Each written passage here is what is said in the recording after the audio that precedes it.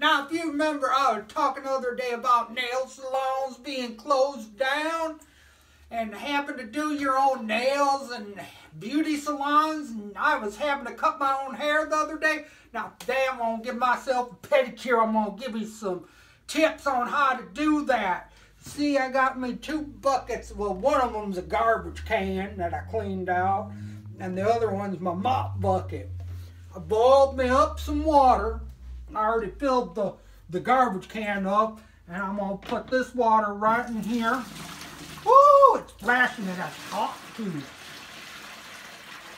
Put that all in there. Set that off to the side. I got my favorite Mr. Bubbles too.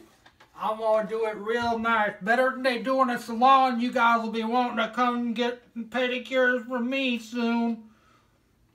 Little bit in there, don't need a lot. A little bit in there. Now, I don't have all the machinery that they got at the at the salons, but I use some hillbilly ingenuity, and I'll show you in a minute. Got to get this off, get these off so I can get my feet down in the buckets here. Woo! Got my long johns on too. I'll just pull them up. You don't want to see me down in my skivvies. You pull them up out of there. Now, here's where the hillbilly ingenuity comes in.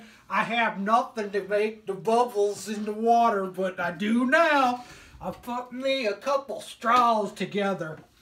What I'm gonna do here, get them all, that feels so good.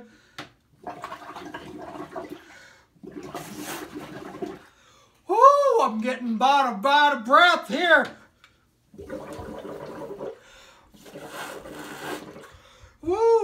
Them feet a bubble bath. That's some good old stuff there, better than they do in a nail salon.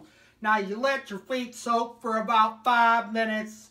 I already did it once before this video, so I'm just showing y'all how to do it. We'll lay my straws over there. I have my, my special Spidey-Man straw. Pew, pew! Shooting out some webs.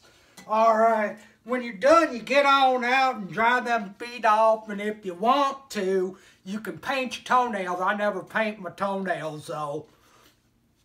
Maybe I will tonight. Who knows? We'll see tomorrow. If you like my videos, subscribe. We'll see you tomorrow. This is NASCAR Quarantine Keith with your PSA for